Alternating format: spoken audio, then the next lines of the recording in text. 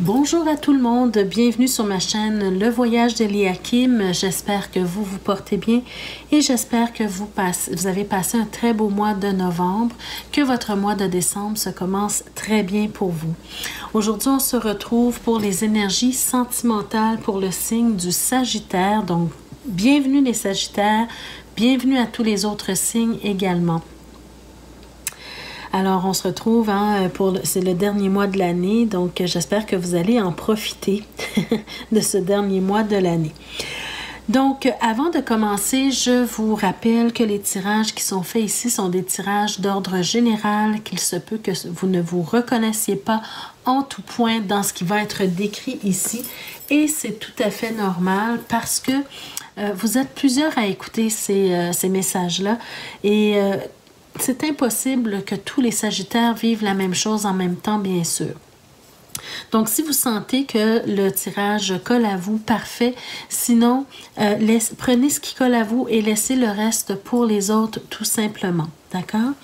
Euh, je vous rappelle également avec ma petite clé de la destinée que c'est toujours vous qui décidez ce que vous faites avec les messages reçus.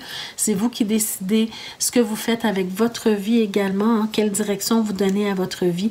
Et peu importe les messages qui sont, qui sont donnés ici, si vous n'êtes pas euh, en accord avec ces messages ou si vous ne vous voyez que euh, ça, ne rentre pas dans ce que vous, vous voulez faire, vous avez la possibilité de changer le courant des choses. Tout simplement, c'est de reprendre son pouvoir, votre pouvoir personnel sur votre vie. D'accord?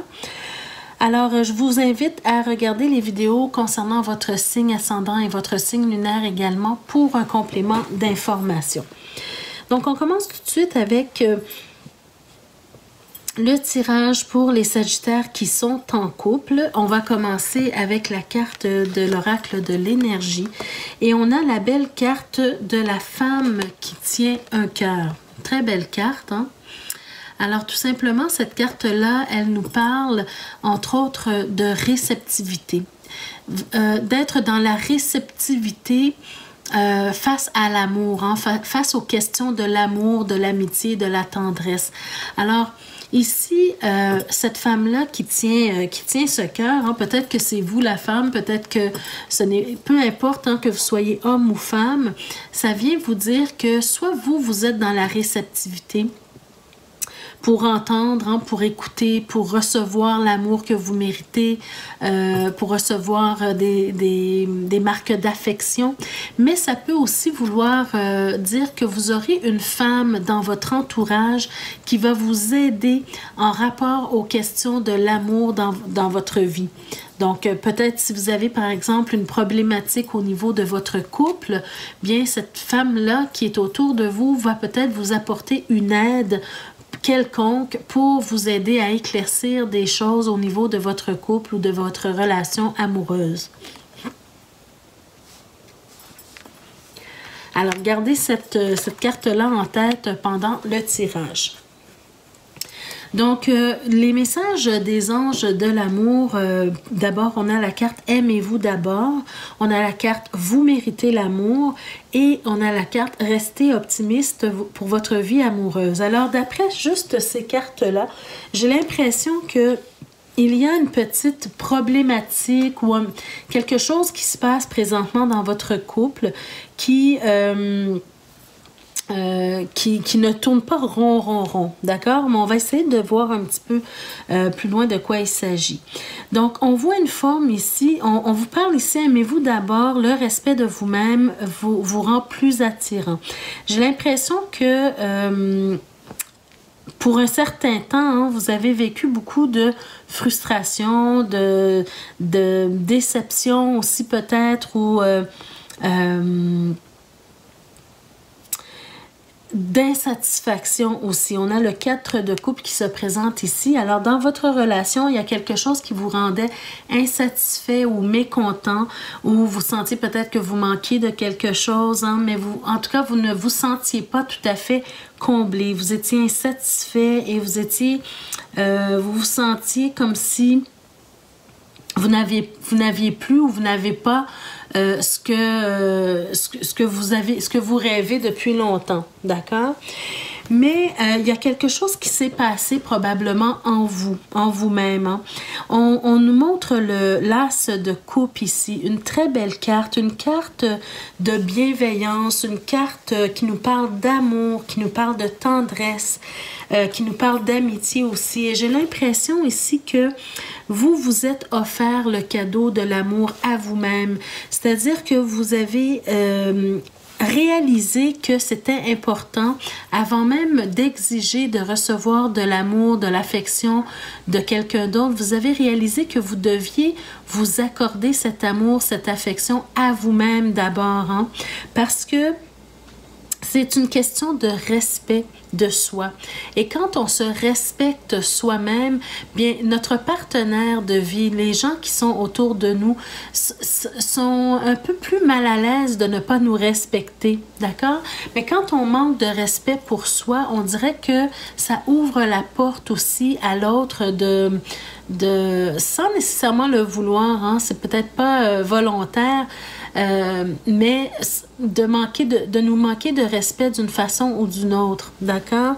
Alors, quand on, on a l'habitude de s'aimer soi-même d'abord et de se respecter, on attire à soi le respect des autres. Voyez-vous, c'est exactement ce que je vous dis ici. On reçoit en fait la réciprocité. Voyez-vous le 6 de denier qui apparaît.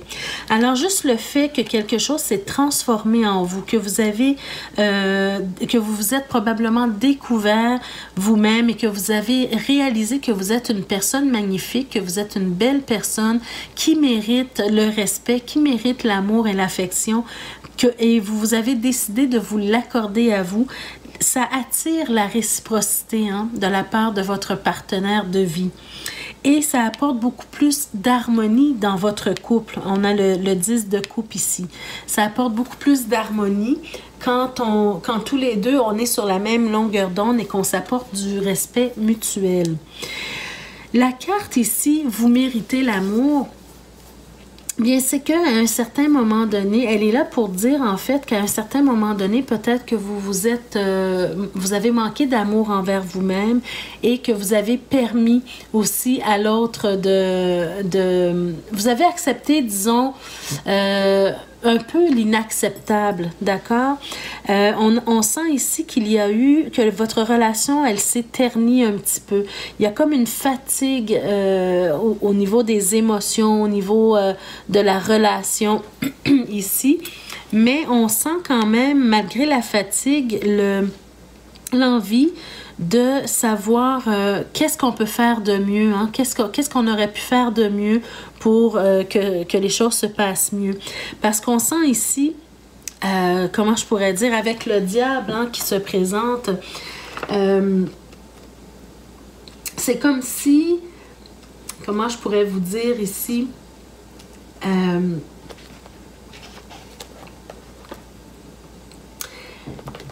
c'est comme s'il y a comme un, sentiment d'impuissance face à ce qui s'est à ce qui s'est passé dans votre relation. C'est comme si vous ne l'avez pas vu venir, hein, cette, cette, ce, cette fatigue au niveau de cette, le fait que votre relation se soit ternie un peu, vous ne l'avez pas vu venir, d'accord? Mais ça, ça vient du fait probablement que euh, vous, vous avez manqué d'amour envers vous-même, tout simplement. Et là, vous avez réalisé qu'est-ce que vous deviez faire pour changer la situation ici? Donc, de sortir en fait hein, de, cette, de cette énergie un petit peu euh, lugubre, un petit peu macabre dans le sens euh, euh, amoureux, hein, comme si on rentre à la maison, il y a, y a plus de tendresse, il y a plus d'affection. C'est comme si on est rentré dans, dans des habitudes, mais un peu plus malsaines. Hein? Donc, ici, on, sent quand même la volonté peut-être de part et d'autre, de votre part et de la part de votre partenaire, de de, s'arrêter un peu pour voir qu'est-ce qu'on peut changer, qu'est-ce qu'on peut faire euh, de différent.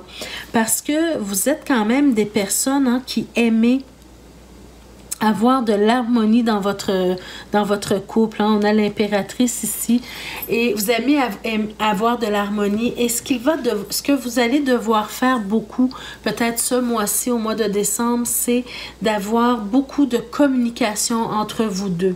On a l'impératrice et on a l'as d'épée. Et l'as d'épée, c'est le cadeau de la communication, le cadeau de l'intelligence. Alors de communiquer de façon intelligente avec votre partenaire pour lui faire comprendre certaines choses.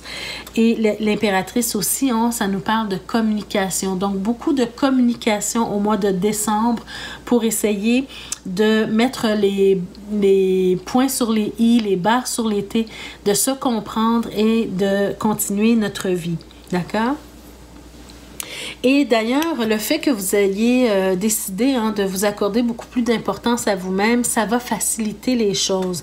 On vous dit de rester optimiste pour votre vie amoureuse et ce n'est pas pour rien le fait que vous ayez décidé de vous accorder beaucoup plus d'amour à vous, hein, aimez-vous d'abord et vous l'avez fait et vous avez bien fait, ça, ça va, euh, ça va aider beaucoup à, euh, à changer les choses. On sent euh, un moment de réflexion ici, un moment de rétablissement. Peut-être que vous avez souffert un peu de ce manque euh, de démonstration affective ici, mais on sent ici que vous allez vous rétablir de ça on a le 4 d'épée. Donc, de prendre du temps, un temps de recul pour réfléchir à la situation, pour... N'oubliez pas hein, que vous avez la carte de la réceptivité. Alors, c'est de s'arrêter un, instant, chacun de son, côté, de se retrouver pour communiquer. Et peut-être qu'après cette communication, vous allez comprendre, hein, parce que vous êtes réceptif, vous êtes réceptif, vous allez comprendre les motivations de, de, votre partenaire ou bien les manquements de votre partenaire à votre égard. D'accord? Alors, prenez le temps de réfléchir à ça et ensuite, bien, euh, rectifiez ce qu'il y a à rectifier. Nous avons le pape ici qui se présente, hein, qui nous parle, entre autres, de, de rectifier les choses tout à l'heure, je vous ai dit, vous alliez mettre euh, les, les, les euh, points sur les i, les barres sur les t. Bien, c'est exactement ça avec le pape ici. Et avec la communication, vous allez rectifier ce qu'il y a à rectifier et vous allez vous entendre. Et le fait de faire ça, ça va vraiment solidifier vos liens. Hein. Vous avez le 4 de bâton. Vous allez retrouver votre stabilité en tant que couple. Vous allez retrouver la stabilité dans votre amour aussi. Et vous allez resserrer les liens affectifs, les liens que vous avez, que vous avez jusqu'à maintenant ensemble pour vous retrouver euh, dans... Euh, disons, dans, cette couronne de laurier qui vous protège, c'est-à-dire que vous allez vous recommencer à vous sentir à votre place à l'intérieur de ce couple. Vous allez vous sentir euh, euh, bien et stable dans ce couple-là. Mais la clé euh, de ce tirage, vraiment ici, c'est la communication. D'oser dire les choses qui peuvent blesser parfois, mais oser les dire parce que c'est ça qui va rectifier la situation, qui va vous apporter le soutien nécessaire pour ramener euh, la situation à la normale. D'accord? Alors, vous méritez l'amour, hein? vous êtes digne d'être aimé, donc respectez-vous et faites en sorte qu'on vous respecte aussi. D'accord? Qu'on vous donne ce que vous méritez.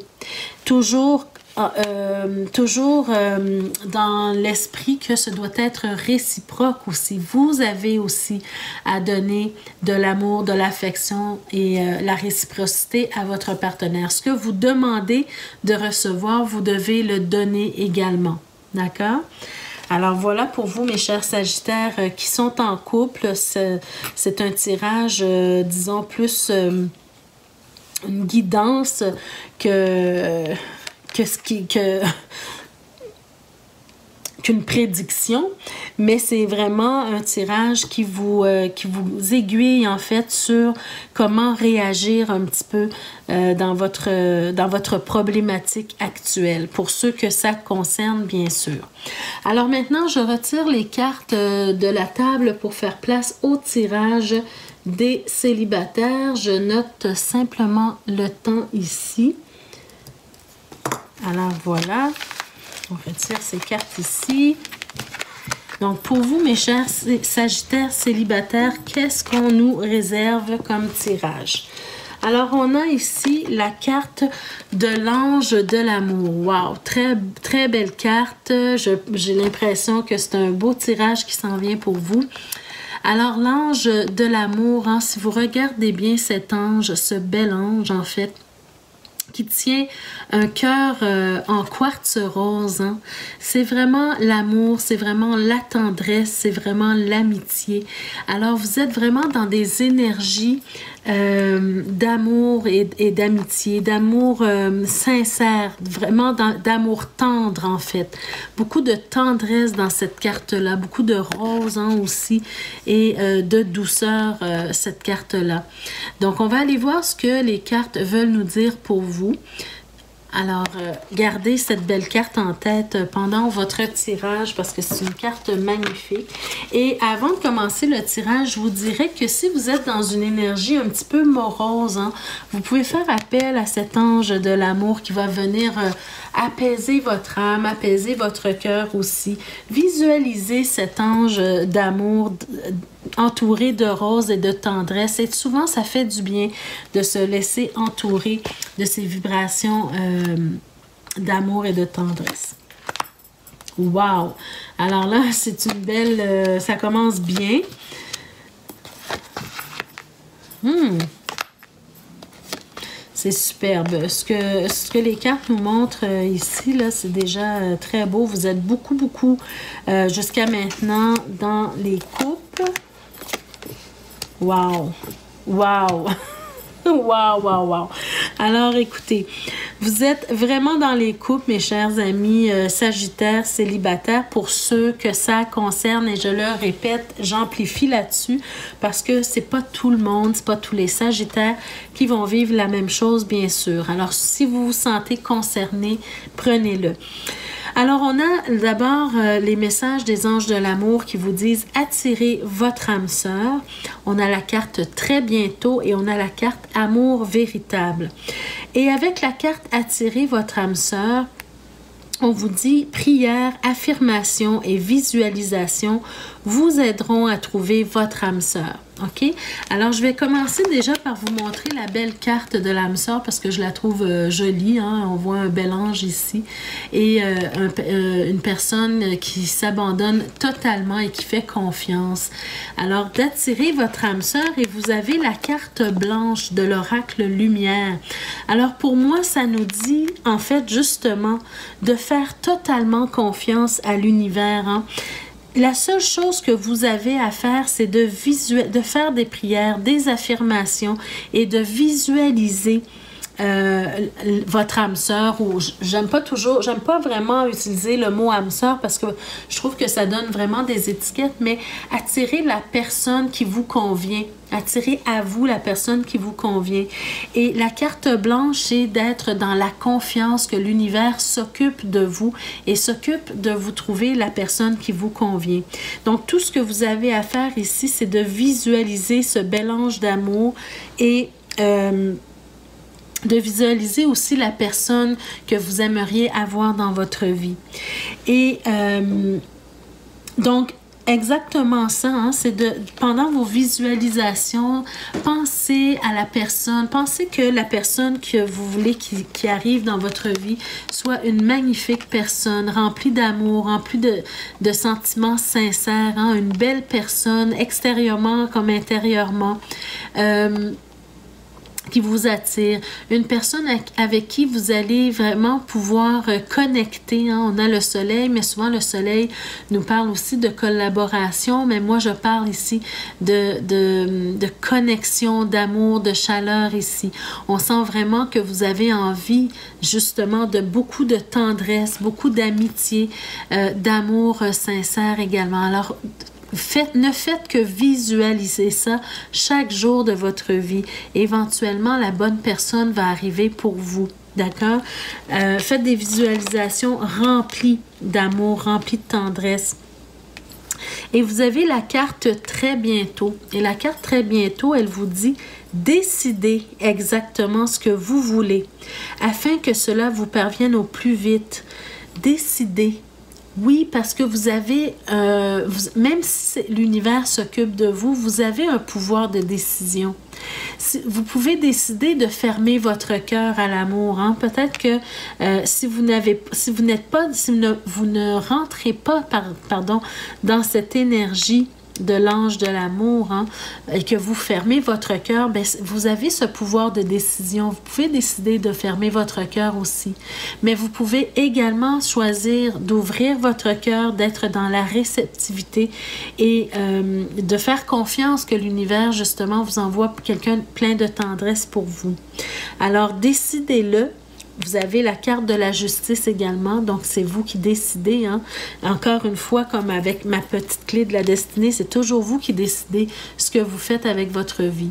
Si vous vous mettez à vous, à vous imprégner de cette énergie d'amour et de tendresse, bien c'est certain que l'univers va conspirer pour envoyer ce que vous demandez. Et donc, de décider justement euh, d'attirer à vous quelqu'un de sincère, quelqu'un qui est poétique, qui est, euh, euh, qui est tendre. Ici, on parle beaucoup de tendresse aussi avec le valet de, de coupe, hein, qui est poète, qui va vous, qui va vous dire de beaux mots doux. Alors, Visualisez ça et décidez que c'est ça que vous voulez maintenant dans votre vie. Je ne sais pas ce que vous avez traversé auparavant, je ne sais pas quel genre de relation vous avez eu auparavant, mais si vous avez eu des relations chaotiques, si vous avez eu des relations difficiles, bien aujourd'hui, reprenez votre contrôle et décidez d'attirer à vous ce genre de personnes plutôt que des personnes qui vont vous tirer vers le bas. D'accord? Et ça, c'est à vous de décider ça. Et au final, c'est un super beau tirage, un peu presque un, roman à l'eau de rose ici. Euh, et encore une fois, je répète que c'est pour certains d'entre vous, bien sûr, hein, tout le monde ne vit pas la même chose, mais vous, vous risquez éventuellement de rencontrer l'amour véritable, hein, l'amour qui vous convient à vous. Vous avez l'as de coupe, une très belle, euh, très belle carte ici qui est remplie justement euh, d'amour véritable, de bienveillance aussi, de, de, tendresse. Mais c'est quelqu'un qui va probablement vraiment veiller sur vous, qui va prendre soin de vous, de vos sentiments. C'est la richesse des sentiments ici. Et c'est aussi encore au-delà de ça, c'est aussi la nourriture spirituelle que vous recevrez euh, en même temps aussi. Hein. Parce que quand votre âme est nourrie, bien, vous vivez encore mieux l'amour sous toutes ses formes. Et c'est quelqu'un qui va peut-être, avant même de tomber amoureux, vous allez tomber dans l'amitié. Et ça, c'est merveilleux. Et, je vous le souhaite sincèrement. Et c'est probablement aussi la personne, hein, euh, cette personne-là va répondre probablement à tous les critères hein, de vos désirs, tout ce que vous désiriez recevoir dans votre vie. Euh, chez une personne, bien, Probablement que ça va répondre à ça. Le neuf de coupe, c'est la satisfaction et c'est les vœux euh, réalisés. Alors, je vous souhaite sincèrement hein, que ce soit le cas pour vous. La petite carte, euh, alors ici, j'avais oublié de vous parler des cartes de l'oracle lumière avec la carte très bientôt eh bien, on vous parle de cadeaux et de récompenses. Alors, ce n'est pas étonnant qu'on a vraiment des coupes partout ici pour vous et en plus le soleil parce que euh, on vous dit ici, j'ai l'impression que si vous faites ces efforts-là de visualisation, d'affirmation aussi et de prière, que vous allez être vraiment récompensé très bientôt et que vous allez recevoir vraiment ce que vous désirez au plus profond de votre être. Hein. On est vraiment dans un tirage de douceur ici et de réalisation des vœux. Et cette personne-là, hein, qu'on vous parle, voici l'amour de votre vie, mais c'est une personne qui va vraiment venir vous élever spirituellement, qui va vous élever aussi en tant que personne, qui va vous aider à être peut-être la meilleure version de vous-même. C'est pas quelqu'un qui va vous tirer vers le bas. Et c'est ça que vous méritez. Si jamais vous faites des rencontres qui ne vont pas dans le sens de vous élever en tant que personne, bien ce n'est pas pour vous. D'accord? Vous êtes arrivé à un point dans votre vie où c'est euh, la personne qui vous mérite, c'est quelqu'un qui va vous aider à vous élever. Et on voit aussi des, euh, trompettes un petit peu plus euh, autour hein, de la pyramide. Et ça, ça veut dire la fête, la joie, la festivité. Alors, si vous rencontrez quelqu'un et c'est ce que ça vous apporte, la joie dans votre cœur, alors vous savez que c'est la bonne personne pour vous. Mais si c'est quelqu'un qui vous fait des misères, par exemple, mais que vous restez toujours accroché quand même à cette personne, bien vous savez, vous allez sentir, hein, suivez votre intuition et vous allez sentir que ce n'est peut-être pas la bonne personne pour vous. Donc, tant et aussi longtemps que vous n'avez pas rencontré cette personne ici, hein, qu'on nous montre ici, bien, ce n'est pas pour vous. Cette personne-là doit vous élever. D'accord? Alors voilà pour euh, le tirage pour les Sagittaires célibataires. Donc j'espère que ce tirage vous a plu. En tout cas, un très beau tirage pour le dernier mois de l'année. Donc j'espère que ça se passe vraiment bien pour vous. Alors, euh, on je vous souhaite en tout cas de passer un super beau euh, mois de décembre, de très belles fêtes aussi pour ceux et celles qui fêtent euh, la fête de Noël. Profitez-en, profitez-en pour être entouré de vos amis, de vos parents, de votre famille hein. et soyez surtout prudents, soyez prudents sur les routes aussi. Alors n'hésitez pas à liker la vidéo, ça fait toujours plaisir, ça m'aide, euh, ça m'encourage en fait à continuer à faire des vidéos pour vous. N'hésitez pas aussi à partager la vidéo, peut-être que d'autres personnes auraient besoin d'entendre ces messages-là. Pour, les, euh, pour ceux qui sont nouveaux, nouvelles et qui me découvrent aujourd'hui, n'hésitez pas à cliquer euh, sur la, en fait, à, vous abonner à ma chaîne et à cliquer sur la cloche de notification pour être avisé chaque fois que je mets de nouvelles vidéos pour vous. Et n'hésitez pas aussi à communiquer avec moi si jamais vous avez besoin d'un tirage personnalisé. Mon adresse se trouve en barre d'infos. Ça me fera plaisir de vous envoyer la procédure ainsi que mes tarifs pour recevoir votre tirage personnalisé. D'ici ce temps-là, je vous souhaite un excellent mois de décembre et on se retrouve l'année prochaine au mois de janvier pour de nouvelles vidéos euh, sur euh, les énergies sentimentales. Merci de votre habituelle écoute et au revoir.